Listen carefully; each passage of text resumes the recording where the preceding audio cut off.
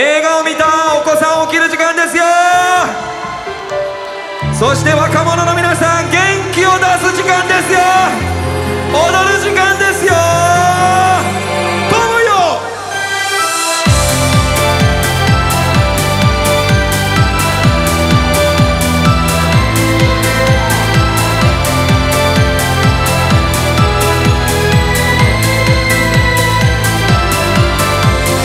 あの場所め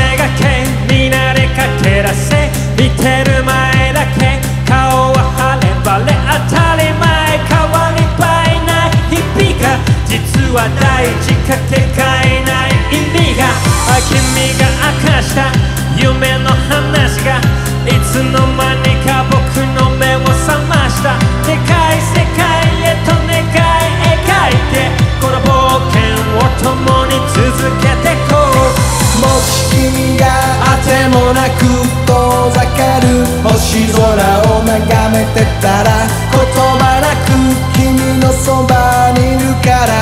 決して一人にはしないから。何十年先も君を友達って思ってる。辛い時は何でも話してよ。いいことばかりじゃない。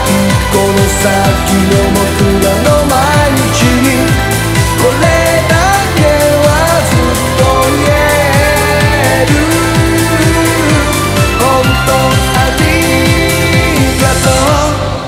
的模样